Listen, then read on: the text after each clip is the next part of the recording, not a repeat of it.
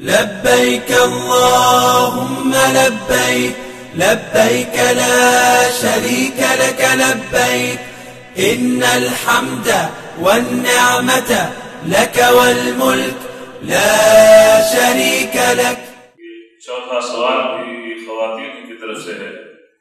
احرام کی حالت میں کیا عورت کے چہرے پر کپڑا نہیں لگنا چاہیے؟ کیا یہ صحیح ہے؟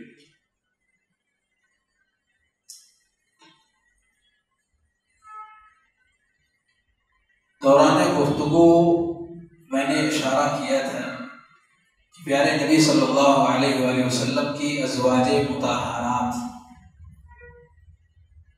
جب وہ احرام کی حالت میں تھی تو اپنے چہرے کو کھولے ہوئے تھی اور ان کا کہنا ہے کہ جب ہمارے قریب سے قافلے کے لوگ گزرتے تو ہم اپنے دوپٹے کے کپڑے کو چہرے کے اوپر گرا لیتے تھے۔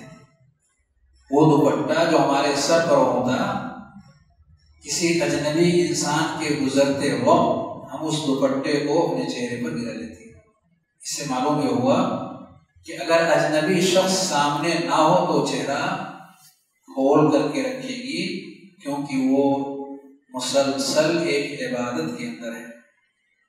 اور کھلے چہرے کے سامنے عبادت کرنا یہ افضل ہے بہ نسبت بند چہرے کے۔ لیکن اگر اجنبی انسان کا وہاں سے گزر ہو رہا ہو، تو فتنوں سے بچنے اور ان تمام وسائل اور ذرائع سے اپنے آپ کو بچانے جس کے ذریعے سے سماج کے اندر برائیاں پھیلتی ہیں، ضروری اور واجب ہے اس لیے چہرے کو بند کر لے گی۔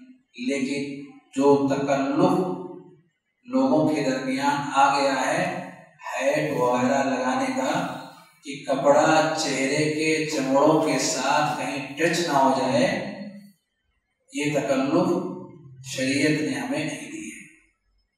اور دو آیتیں میں نے کچھ دیر پہلے جو پڑھی، انہیں دونوں آیتوں کو دوبارہ سامنے لاتے ہوئے، رب جب کسی کام کے کرنے کا حکم دے تو جیسی انسان کی پہنچ ہو، اس پہنچ کے اعتبار سے اس کام کو انجام دیا جائے، یہ اللہ رب العالمین ہم سے چاہتا ہے۔